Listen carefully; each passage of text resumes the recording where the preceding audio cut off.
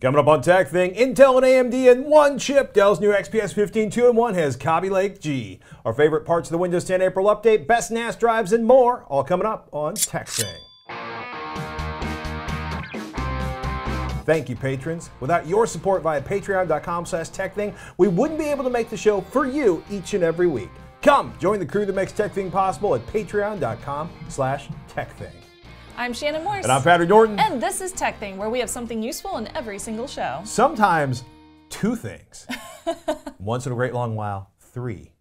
I have one amazing thing to show off in today's show, so I'm super excited about this. Oh my goodness. Awesome. Is uh, that the new Dell XPS 15 2-in-1? Yes, it is. Uh, so this was just announced. What? You have a question? What makes it a two-in-one? Oh, well, uh, yeah, I guess I should show you. Uh, so basically, what makes it a two-in-one is one, you can use it as a laptop. Two, you can use it as a tablet. Or you wow. can also use it as a tent. So you could turn it like this and sales set it down as well. Sales presentations. Yeah, totally. And you know, I actually found that's really useful whenever you're like doing a Google Hangout and mm-hmm. you want the webcam to be in the right place. Thank you, Dell. then you can have the webcam at the top as opposed to the bottom when it's in the laptop formation. So we have another Infinity Edge display with a super thin bezel and yep. nostril cam. Yes, exactly. But the nostril cam is at the center of the monitor rather than at the it side. is, which I truly do appreciate very much, but the bezels are still really small on this two-in-one as well. So the model that we are reviewing today, this is the new 2018 model that they just came out with, mm -hmm. and we got to see a little bit of it uh, during the CES period of time mm -hmm. earlier this year, but now we actually got to get hands-on with it. So the model that we have, if you look at Patrick's computer, he has the prices pulled up. Uh, the one that we have is $2399.99 with an MSRP of 2409 so you can save 10 bucks on Dell.com. Oh wait, it's 21.99 today. Quick, order it now. yeah, exactly. And it weighs about 4.36 pounds, so it's relatively heavy. I wouldn't say that I'm going to take this with me everywhere, but it's on par with like mm -hmm. some of the gaming rigs that I've messed with. So the big thing about this is the Lake G processor.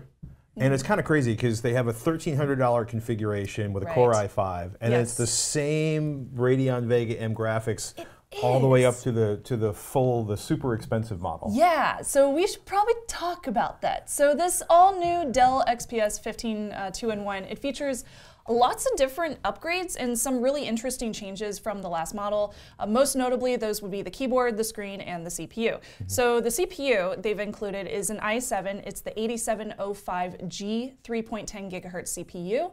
And interestingly enough, this is the Kaby Lake G CPU series that we covered at CES, uh, which we did some little video on previously, but it's the eighth generation line of CPUs. But the G version, weirdly, weirdly, has an Intel HD graphics 620, but it also has a Radeon RX Vega M GL graphics on board with 4 gigs of memory. So it's Intel with Radeon in one. Is that weird to anybody else? It's been is, bugging is it you me? since I first talked about it in January. Yeah, is it is it just me, or is that is it weird? I mean, it's kind of cool, right? It's kind of cool, but it's, it's it was so weird different. in January. It's weird now. yes, I know. You're not the only ones out there, everybody. It weirds me out too, but I, it's kind of cool. When you look at the, I, I, I love the uh, the descriptions of these. When you get to the memory, like thirteen hundred dollars, eight gigabytes, DDR4, twenty four hundred megahertz integrated. Right. That's a fancy way for saying the memory's soldered down on the motherboard, people. Yep, yep. so the version that we reviewed also has 16 gigs of RAM and a 512 gig NVMe SSD. You can also get one terabyte for a little bit more money, of course, or you can get a little bit less if you want to save some money. Uh, you are stuck with that amount of RAM, so depending on which one that you decide to purchase, you better intend to use that RAM because that's all you're gonna get. It is not removable. However, you can remove the back plate to access the NVMe SSD, for example. Uh, the graphics are not as good as my NVIDIA GTX 1060, or which is in my Razer, or like a 1080. It's kind of equivalent to a 1050. Mm-hmm. Uh, it is better than the usual, just simple built-in Intel graphics. Yeah, like way better. So for example, I was playing Skyrim on high res because that's my favorite game and I love testing it even though it's old school, but I don't care. You're a chicken killer. I'm a chicken killer. Yeah, there are there are chickens in that game and you can kill them and then you can eat the meat. So sorry if I no, have no, vegan friends, like, I apologize. I know you were playing Skyrim because like you'll be on your side of the yeah. Ha! Kill the chicken. yeah, I know it's so funny. He just like randomly hears that out of me in the office. But uh, I noticed that if I was trying to play it with 4K resolutions, mm-hmm. the game froze. yeah. But it was perfectly fine with 1080 HD settings in high res on Skyrim. So there's a huge difference between trying to play in 4K and trying to play in 1080p. I also tried rendering a video file with Adobe Premiere Pro, and it took 9 minutes and 25 seconds to render an 8 minute video. Now, comparing that to the uh, Razer that I usually use or the Alienware mm-hmm. that I sometimes use as well, those generally are one to one level. So okay. it's 8 minutes for an 8 minute video. So this is a little bit slower, but not bad at all. So those are are those are those are last year's Core i7s in those machines? Mm-hmm. Okay. Yep, exactly. Um, the fans do get a little bit loud whenever you are rendering or doing heavy lifting, but luckily not as loud as the Razer, which basically sounds like a jet engine. Nothing is as loud as the Razer. Exactly. So this brings me to the screen. It is a 15.6 inch 4K UHD display. It's 3840 by 2160 resolution, and it's 433 nits of brightness. So it's very, very bright, especially if you like like bringing it outside or something. Uh, it's nearly 100% color accuracy with sRGB colors and Adobe RGB color spaces, and it has very good contrast as well. So I was really, really happy with the screen. It's rather beautiful, and I do have it set to go to sleep because this thing uses a lot of battery, and I will touch on that in a moment. Uh, it also has that infinity edge design, so those nice skinny bezels, anti-reflective touch display, and it also, optionally, you can buy this $100 active pen to use with it, which I found is most compatible whenever you're in like tablet mode and you're trying to draw something. Mm-hmm. However, I did have some issues with this kind of glitching out and randomly like moving to a different part of the right. screen. So I didn't necessarily think this would be good for an artist.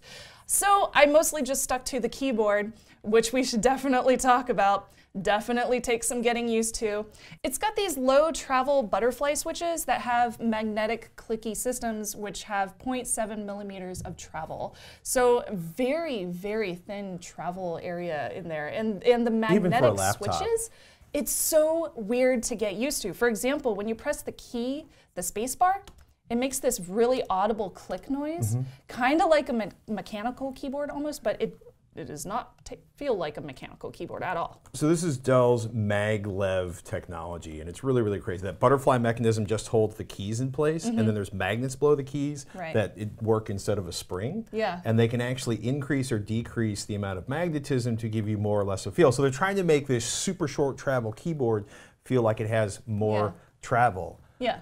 You it's, despise it. I don't I wouldn't say I despise it, but it is very very hard to get used to, especially because there there is some tactile feedback, but it's not what I'm used to on for example the Alienware mm-hmm. versions of keyboards or my mechanical keyboard that I have in the office. So this one is it's it's hard to get used to, but you can over a little bit of time. There is one upside, like they're claiming something insane like 12 million cycles per key which is really good. I've worn out keyboards on laptops. Me too. so I'm like down with anything that will make them last longer. Yeah. So. Uh, I also noticed that it is backlit, which is great. I love backlit keyboards, and the keys are noticeable whenever you're in tablet modes because you can feel them when you're holding it in tablet mode, but they won't register any kind of clicks well, while you're in, in, that mode as mm-hmm. well. Uh, another honorable mention that I should mention with this review on the two in one the 75 watt hour battery.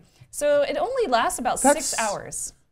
It's it's a big battery. It's a big battery. It's a big battery. It should last a long time. But I think because this 4K screen takes so much mm-hmm. use, so much power to draw, it, it, just draws it out and, and, it ends up just being about six hours of battery life if you keep that screen on. So the 4K screen is beautiful. Mm-hmm. It's high res. Yes. It's 430 or 470 dollars more than the 1080p that comes on every other model. Exactly. And you can't really game at 4K. Yeah, exactly. okay. I just want to make sure I had that right. Yes, you are correct. And I should probably mention the ports on here.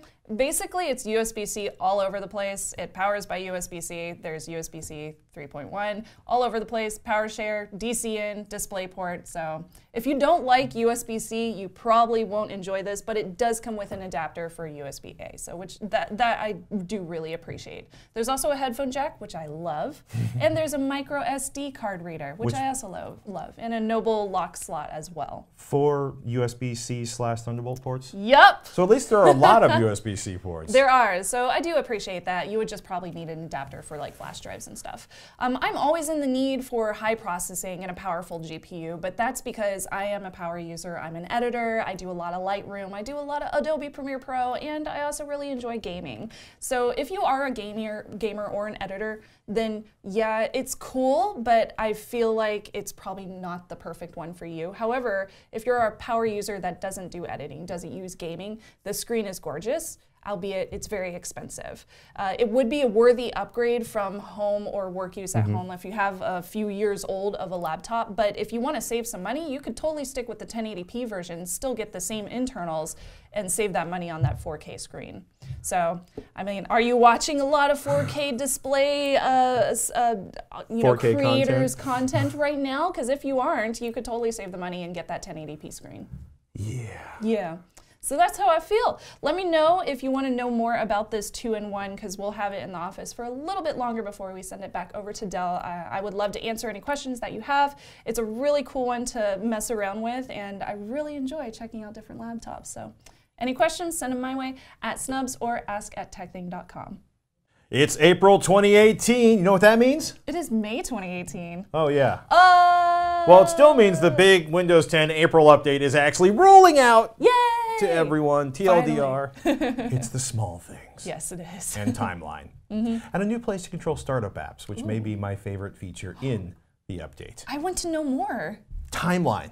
That's yes. the big deal. Do you ever use the task view button next to the start button in Windows? Um, that, it's that one right there. Click on it. Sometimes, sometimes I do. Yeah. No, no, no, no, no, no, no, that one right there. Oh, that one. Yeah, you don't ever nope, use that one. I never use that one. Nobody one. ever uses that one. Nope. so Task View shows all the apps that are running on Windows 10.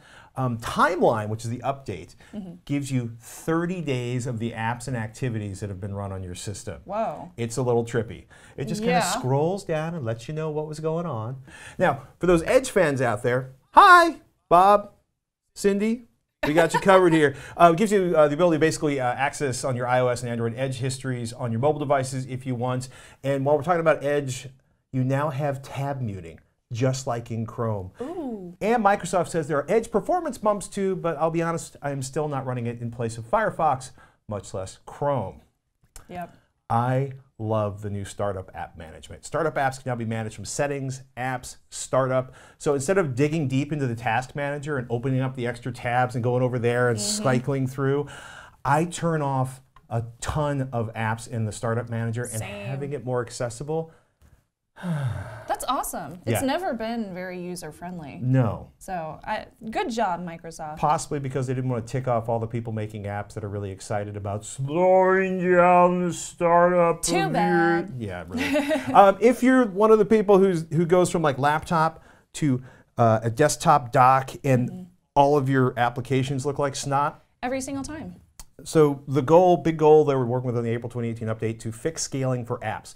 So if you have apps that look blurry, uh, or uh, like you know when you're changing from your dock to your laptop and back, yeah. Windows 10 or Microsoft says Windows 10 can detect and will try to keep it from being too small or too blurry.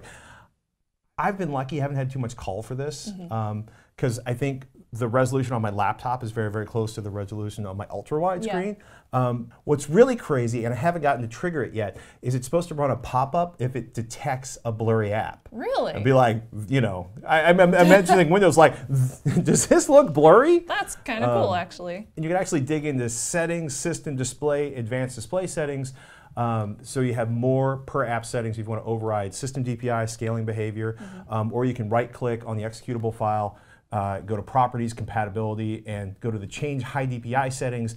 And this is, parts of this have been in there before, but I think Microsoft has really heard a lot of people complaining. Yeah, absolutely. Because um, it's such a frustrating thing. Well, it's good that they're being responsive to those. One would think. Yeah.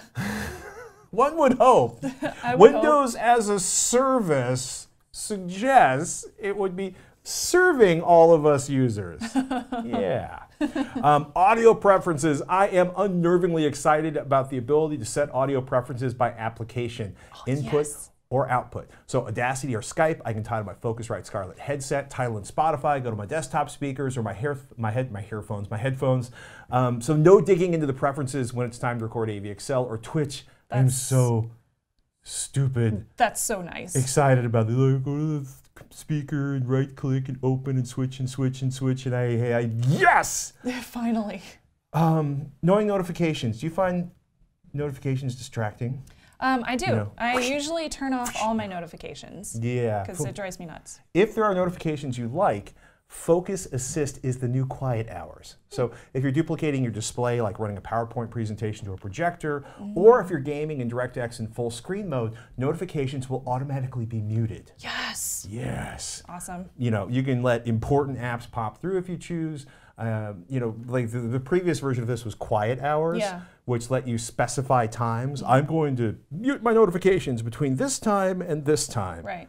Um, I like the idea. I'd like to also be able to tie it to individual apps. Like whenever I'm running this app, notifications can go die. Yeah. Excuse me. Absolutely. Notifications can wait until later. I never need no notifications when I'm playing video games or if I'm like a Google Hangout or something. I'm like, no, I don't need this while I'm re recording a podcast. Leave me alone. Yeah. Or like the Dropbox ones, the ones that are. Oh, insane. those drive me nuts. They're always there. Yeah, I turn those off immediately. I should turn them off more. Mm-hmm. So I may have mentioned way at the beginning of this segment uh, that there are lots of little things like faster Bluetooth pairing via a notification that lets you pair without digging into the settings, cool. which I really, really like. Uh, unfortunately, the only thing that works with that is the Microsoft Surface Precision Mouse. Logitech's Gear is coming.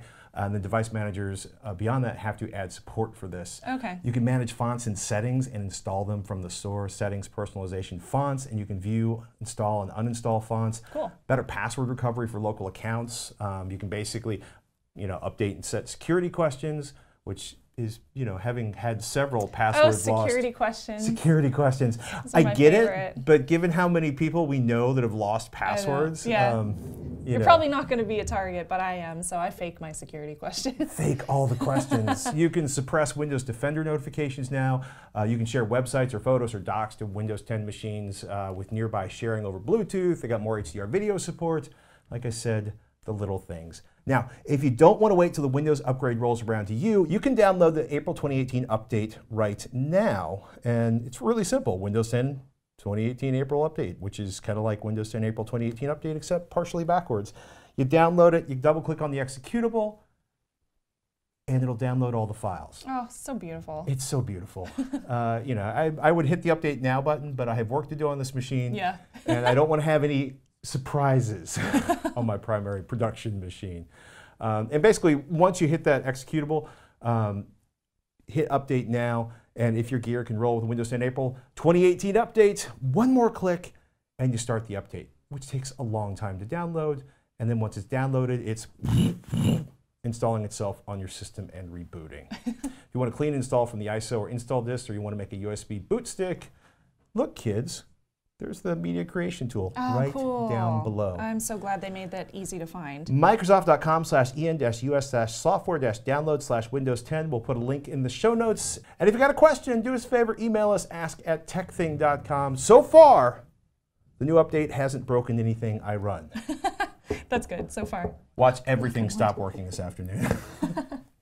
We love your questions, your tips, and your suggestions of products and ideas to check out. There are so many of you, and your ideas are awesome. Send them to ask at tekthing.com, or you can tweet at tekthing, at snubs, or at Patrick Norton. That's me.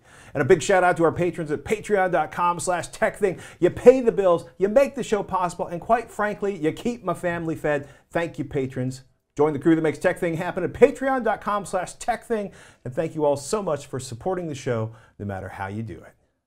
We got an email from Bryan. Hi, Bryan. He says, Hi, guys. Been watching the show a long time. I have a plasma TV that I love, but we moved and now it's reflecting the windows behind where I sit.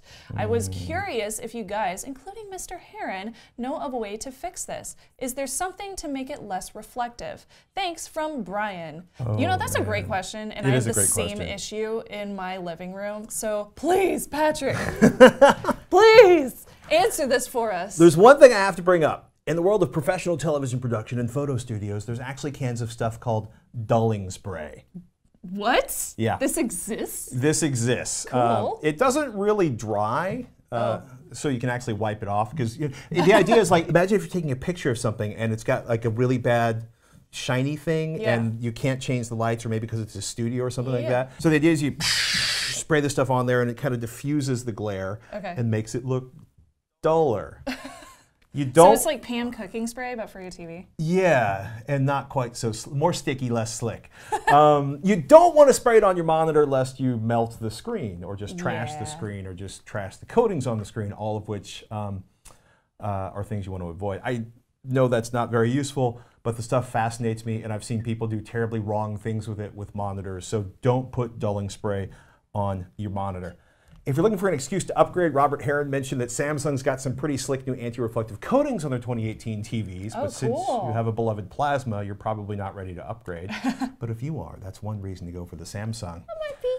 That said, you really need to either A, move things around and relocate the screen so light doesn't reflect off of it. B, get window screens uh, that reduce the amount of light coming in the window, which are very, po- I didn't know about this. There's like window screens are kind of made out of thicker stuff. Mm-hmm. So they cut down the amount of light that comes into your house and all the amount of heat that comes into your house. Oh, that's They're very nice. big in the southern states, especially in the southwest. Cool. Uh, or you can put external sunshades outside your windows. Or C, go the most effective route, curtains you can draw to block the light coming through the window. Okay. With my first projector, full on blackout curtains were the only way to use its weak ass bulb during the day. um, depending on how strong the sun is in your situation or your locale, that might be the fix. Um, there are aftermarket anti-glare films you can apply to your TV. One of the ones that's out there is NuShield, and you can kind of see it over here. Um, this is where the NuShield is, and this is where it isn't. Whoa. Right? Um, it's pretty crazy. These look really slick. Uh, they make for tablets and phones, but imagine applying a 65-inch adhesive film to your monitor. Oh man, I would have so many wrinkles. Yeah. I'm really bad at applying films to my cell phone. It scares me a little bit. Um, yeah, I mean, you know, your cell phone's this big, and Yeah. you're like, "Meep, meep, meep, meep." now imagine a 65-inch screen. I would be terrible at that. Um, the folks at NuShield said it'll do a great job of, say, keeping your bright white couch from being reflected on the screen, but direct sunlight is going to be brighter than your TV can fight off. Uh, though the matte screen will help a little bit. There's Okay. a similar th- substance uh, over at GlareStopper. Um, you know, they do a similar demo where it's like, oh, this is the uncovered, or no, this is the covered half, this is the uncovered half. And it's like, oh, look, there's dad and dad's legs, and there's not dad's body reflected in the screen.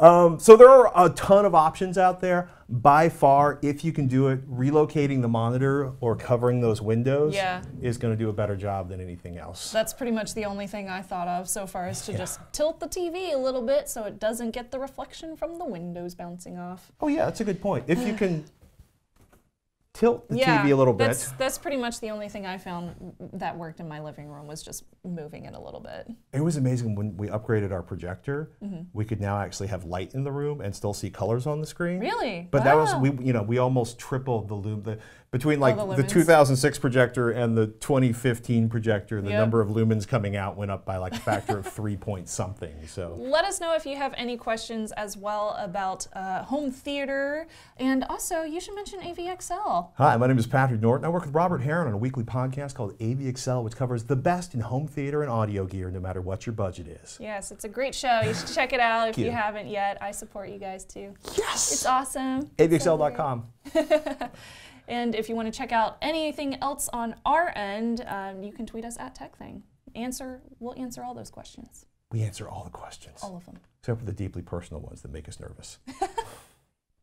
We got a tweet from Josh who says, What are your opinions on the best NAS and RAID drives for backing up ripped Blu rays? Looking to rip a total of about 250 discs and need quite a bit of space, but want it to continue being reliable down the road. Thank you so much, Josh. Mm-hmm. What do you recommend? So I, we both run Synology NASs. Yes, we do. Uh, I'm pretty sure we both run Western Digital Reds inside of them. Yep. Um, Seagate's been making grounds. They're doing a lot more. They're doing their own sort of dedicated series of NAS-based drives that also have red on the label and horses. um, but you know the the Western Digitals have worked really really well for me for a bunch of years, so I'm sticking with them. If you go to, for example, the Amazon webpage for the WD Reds. Um, They run from one terabyte, can't really get the size in there, to 10 terabytes. So one terabyte drive sells for 62 bucks. That's 16 cents a gigabyte. Three terabytes, 115 bucks, 26 cents a gigabyte. Four terabytes through 10 terabytes pretty much averages uh, 32 cents a gigabyte, and the oh, drives wow. individually cost anywhere from 125 up to 318 dollars. Kind of a big difference. Yeah, well, so when you're when you're buying NAS drives, you need to verify. You need to go to the support page for your NAS manufacturer's yep. website and verify that your NAS will read the drives? Yes, absolutely. Because um, there would be nothing more awkward than being like, I just bought twenty four hundred dollars worth of ten terabyte drives. that my NAS can't read. Yeah, and that I can't return out of the box. Well, I'm pretty sure you could return them, but it would just. Yeah, Amazon has a good return policy, which is nice, but other ones might not. I feel like four terabytes is the sweet spot. Yeah. Because it's kind of crazy, right? You, you go from like, what did I say, 24 cents to 32 cents per yeah. gigabyte between the three terabyte and the four terabyte. But the price difference, you know, you're talking about 10 bucks. Oh, wow. So, yeah. 30% more huh. space. Cool. But the six terabyte, oh, yeah. 184. Yeah, a little bit of an increase there. 50% hmm. more storage for a 30% increase in price. Hmm. I could do this all day, so I'm going to stop. feel like you're as good as me at the budgeting thing and finding all the coupons well, and like the deals. The four terabyte, the three terabyte. Well, the other thing is there are six, and I should I don't have the name of the viewer who reminds us of this. Mm -hmm. There are external drives that sell for considerably less than $184 that have six terabyte reds inside of them that are available from Western Digital. Whoa. So you can go to Best Buy and buy like a six terabyte. You know what? Here, you should do thank Darren and the crew. You know, I should thank Darren and Hak5. We do want to give a quick shout out to Hak5 for the studio space here. You can definitely check out Hak5, grab some Hak5 gear, and check out all the security and privacy podcasts that I do, as well as Mr. Darren Kitchen over at hak5.org. I feel like this is the drive, but it's sold out. Oh. Yeah. $140 for a six terabyte drive. I will investigate. Okay, cool. If, if you do find it, it just week. stick it in the show notes and people can look down there. No, we'll talk about it next week. Okay, that sounds good too. I just want to keep talking about NAS drives. well, we should mention an analog pick this week. Remember, ladies and gentlemen, once in a while, put down the phone, step away from the screen, close the laptop, and do something analog, like Thomas, who emailed askatechthing.com. Hello, Shannon and Patrick. Last month, Shannon tweeted that she missed out on the cherry blossoms in Japan this spring. I did. It was totally a coincidence that I was in the right place at the right time as I was visiting my sister who's in the Pacific Fleet. What? Go, sister. I know it's a little late, but here are a few photos of the Great Buddha in Kamakura. Kamakura. Daibatsu. Daibutsu. Thank you. the whole area was just lovely, and the walk up the street to the Daibatsu, Daibutsu, Daibutsu was just packed with little shops and street vendors with oh, awesome food. Love it. It's no replacement for a real trip to Japan, but I hope it can bide Shannon over for a little while longer and maybe convince Patrick to visit. Aww. Thomas. Thank you, Thomas, fellow ham radio nerd. I love it. I oh have actually visited Japan. My wife taught English in Japan for a year. Oh, and that's someday when we can score the money to take all four children, no, all four, well, we all are four children, uh, we will uh, we will get back to Japan. Awesome. I love it so much. And your pictures are wonderful, Thomas. Thank you so much for sharing. Oh, wait, wait, wait, wait. Cherry That's blossoms. the Daibutsu. yes. yes. Oh, the sakura. It's so pretty. It's so Arigato. Oh, Arigato Thomas-san. Appreciate so it, man. And if you have an analog pick that you want to share with us, whether it's travel related or something really cool that you did around town or just a really neat build or something that you did with your family, definitely share with us. Ask at tekthing.com. We would love to share the positivity with the rest of our fans. Looking for some tabletop game recommendations. Ooh, yeah. By the way, if you have a solution for running Minecraft with small children, I'm all ears. I'm also Patrick Norton. I'm Shannon Morse. We'll see you next week on TekThing.